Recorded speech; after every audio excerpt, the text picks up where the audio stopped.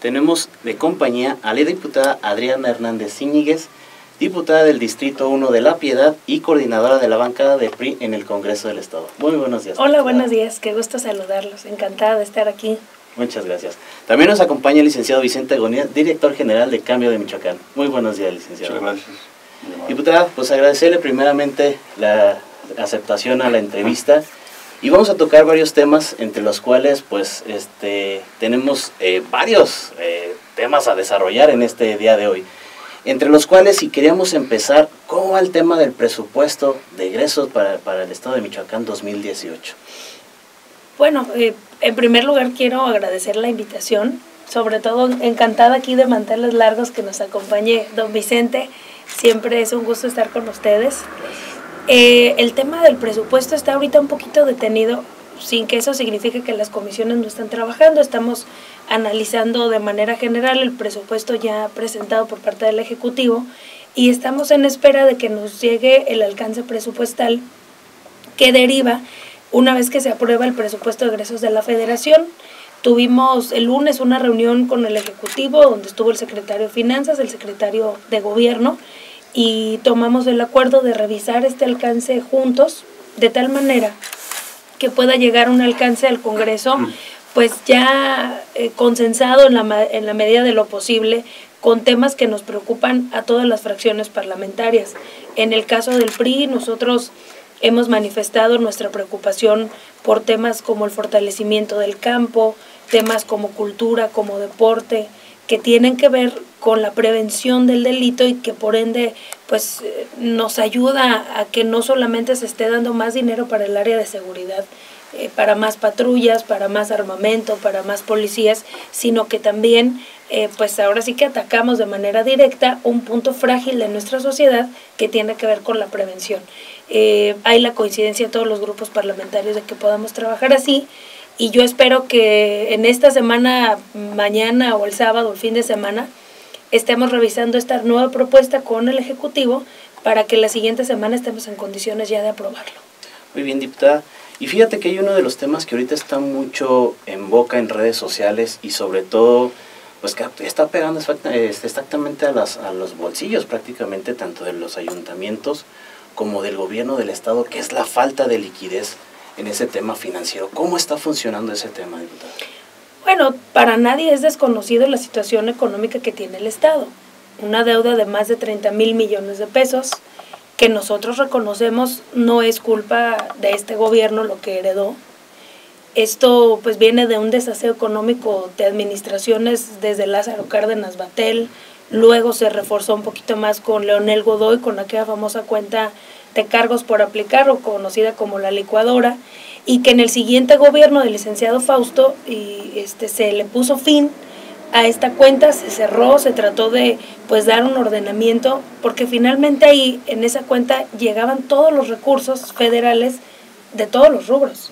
Salud se iba ahí, escuelas se iba ahí, seguridad se iba ahí, infraestructura carretera se iba ahí y se utilizaba en muchos casos para todo menos para lo que era. Entonces, eso empezó a traer un desaseo económico que hoy nos tiene en una situación muy complicada a Michoacán. Sin embargo, también creo que hace falta que este gobierno pues tenga eh, pues más herramientas y sobre todo en base a las recomendaciones que nosotros hemos hecho, optimice más el recurso financiero.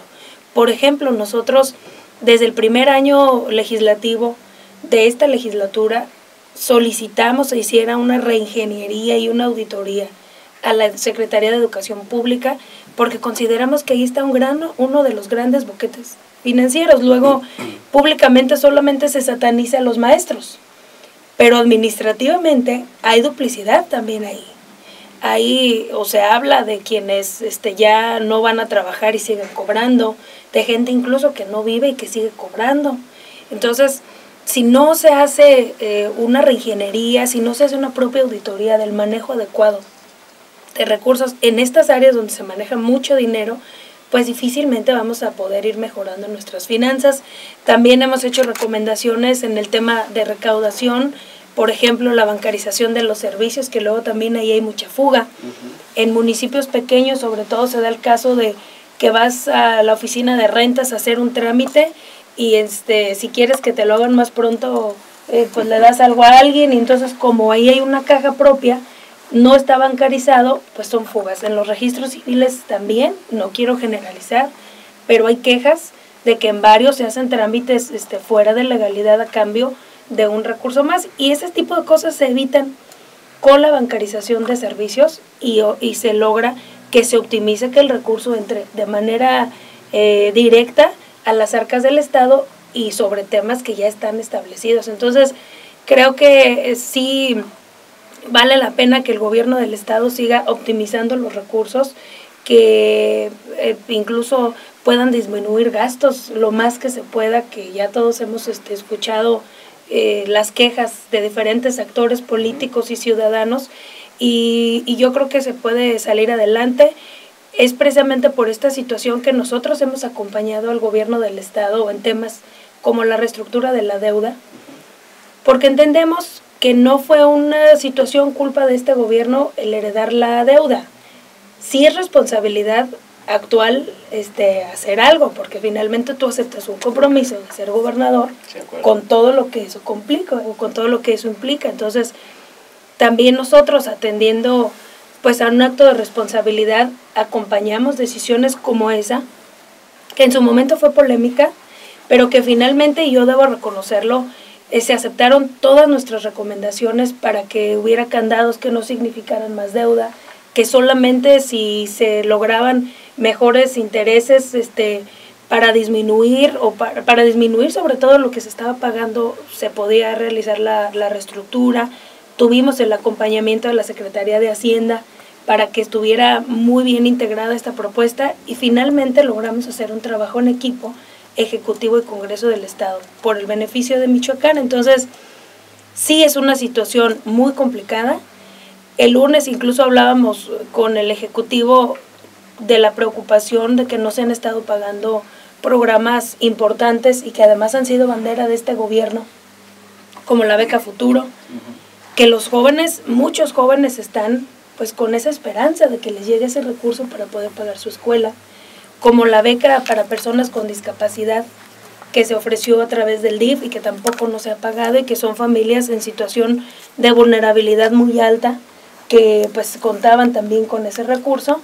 Y lo que nosotros hemos solicitado, si es que se va a llevar a cabo nuevamente el programa, cómo se va a garantizar pagar lo que se debe y cómo se va a garantizar que se pague a tiempo eh, pues lo del año que entra, ¿no? Nosotros hemos dado suficiencia presupuestal y ahora pues toca darle solución al propio gobierno del Estado. Así es, diputada.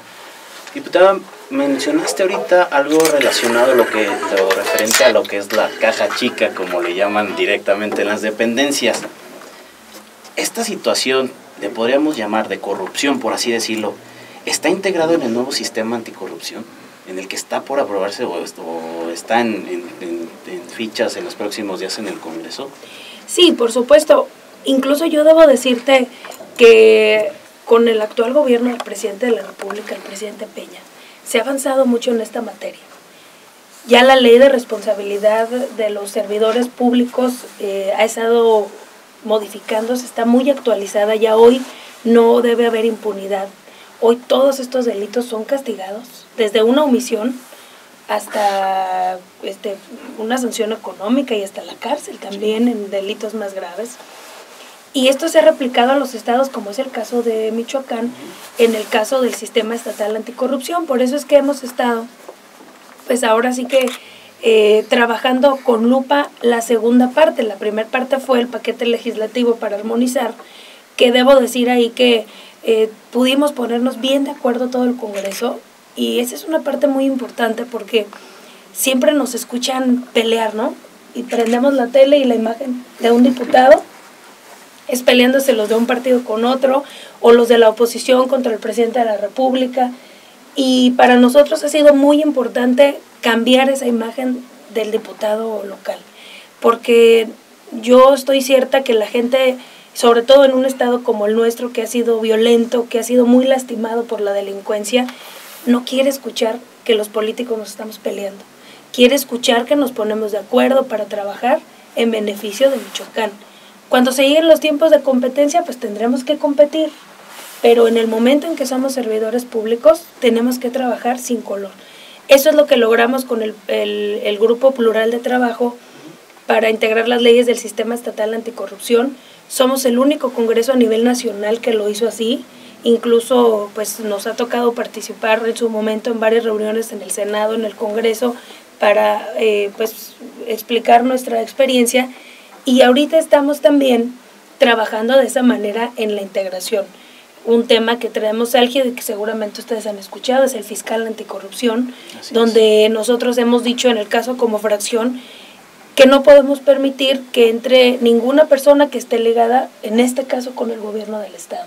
Son cinco aspirantes, cuatro trabajan ahí, uno está muy ligado este, al, al Ejecutivo y para nosotros, más allá de que tengan la capacidad, porque eso no está discusión, pueden cumplir los requisitos, tener la capacidad y ser, ser personas probadas, pero no podemos mandar esa imagen o ese mensaje a la ciudadanía, porque es un tema que hemos trabajado pues con lupa y muy celosamente para que precisamente no tengamos ningún problema.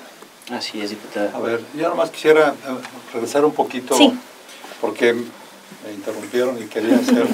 que creo que es una, una gran responsabilidad para el, para el Congreso del Estado fundamentalmente el hecho de lograr la reestructura de la deuda pública, volviendo al problema de la deuda. Y, y creo que si han pasado dos años prácticamente del actual gobierno, debería tener un plan un plan a largo plazo, porque 30 eh, mil millones de pesos no es en Chile ni otra, como dicen por ahí. ¿no? Entonces, ¿qué se ha hecho a ese respecto? ¿Por qué no hay un plan ya? Aparte dice que no, eh, es que no se, ha, no se ha hecho ni siquiera la reingeniería de la, de la deuda pública y del estatus que guarda la situación económica del gobierno. ¿Qué se ha hecho? ¿Hacia dónde vamos? estamos dando tumbos de un lado para otro, con problemas mucho más álgidos, mucho más graves, que si hubiera ya un plan y tomar las restricciones necesarias donde tenga que tomarse y asunto arreglado. Sí, por, ¿Por, qué, ¿Por qué no se ha hecho eso? Bueno, yo no entiendo las razones de por qué, y yo lo ponía un caso muy específico, el tema de la Secretaría de Educación Pública, que ahí está, se manejan miles de millones de pesos. Y que sí es un tema el magisterio, pero que también es otro problema, la parte administrativa. Yo presenté una iniciativa que tiene que ver precisamente en, eh, en que no puede haber eh, trabajos eh, o, o, trabajadores duplicando funciones, porque hoy nos podemos encontrar que hay un, este, un administrativo en la SED, pero al mismo tiempo tiene una plaza en el sector salud y tal vez al mismo tiempo tenga una plaza en un municipio. Esa no es, hay incompatibilidad de funciones ahí y es dinero que estamos pagando y que pues finalmente hace falta para otra cosa. Si se realizara esa reingeniería y esa auditoría interna, yo estoy segura que tendríamos un ahorro importante. Y entonces hacer el plan general. Y entonces se puede hacer el plan general, pero estamos hablando de solamente una dependencia, ¿no? Entonces, no, yo hablo de la eh, eh, sí, o sea, yo, yo digo, ah, es una sola dependencia. Si, si hacemos ese trabajo de manera global, por supuesto que pudiera haber pues una esperanza. No es fácil, don Vicente, porque incluso cuando aprobamos la reestructura, hubo quienes pensaban que al aprobar la reestructura, ya en automático íbamos a tener todo el recurso del mundo para hacer cosas. No. Lo único que la reestructura va a permitir cuando se termine de ser completa, porque ahorita ya se logró reestructurar una parte con manobras, pero falta otra parte, lo único que nos va a permitir o que le va a permitir al gobierno del estado es tener un poco más de margen para operar temas como este que yo comentaba, pero realmente no soluciona el problema de fondo porque pues el boquete financiero ahí está, el dinero no está, las obras no están y por eso ahí y me faltó comentarlo y qué bueno que nos regresamos, porque ahí de la mano la aprobación de la reestructura fue con el compromiso de que se hiciera una auditoría externa de esta cuenta de cargos por aplicar. Porque es muy fácil eh, que con la legislación pasada, pues ya no se les hizo nada, porque como no se ha comprobado, y hoy hay gente o se está satanizando a muchos funcionarios a nivel nacional, incluso a lo mejor por menos que 30 mil millones de pesos.